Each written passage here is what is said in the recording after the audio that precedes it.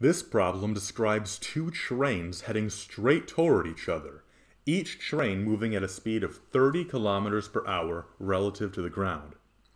For some reason, when the trains are 60 kilometers apart, a bird begins moving back and forth between the two trains, stopping at the edge of one train and immediately moving towards the other train, and repeating this cycle continuously until the trains crash.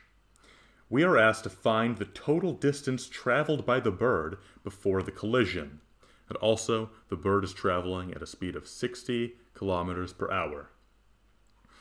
This problem might seem a little bit confusing, understandably, since pretty much everything about this situation is extremely bizarre. But if we take the facts provided at face value, then there are some assumptions that can be made to simplify things a bit.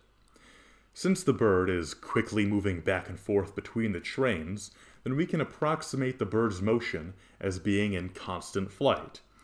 All we're told about the bird's speed is that it flies at 60 kilometers per hour, so let's just assume that the bird is flying at a constant speed too. In reality, the bird would need to accelerate and decelerate in order to change directions at all, but for now, let's just go with the odd idealizations that the problem is asking us to make.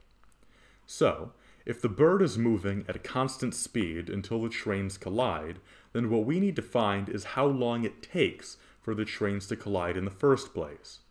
Because the trains are each moving at 30 kilometers per hour, that means that each train is moving relative to the other train at a rate of 60 kilometers per hour which is the rate at which the gap between the trains should be closing.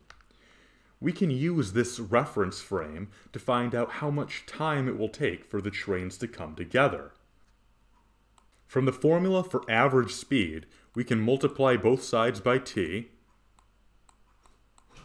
and divide both sides by v to see that an amount of time can be found by a change in position over speed which in this case is the relative distance that one train has to follow relative to the other, which in this case is 60 kilometers, divided by the speed of one train relative to the other, which in this case is 60 kilometers per hour.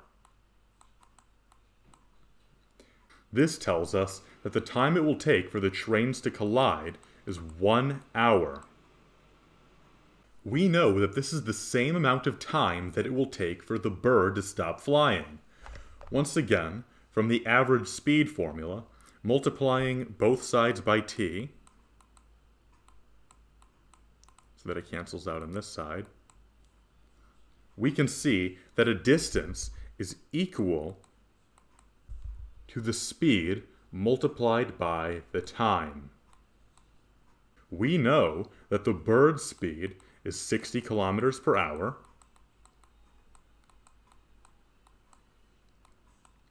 And we now know that the bird is in flight for one hour. 60 times 1 is just still 60. So the bird travels a total distance of 60 kilometers.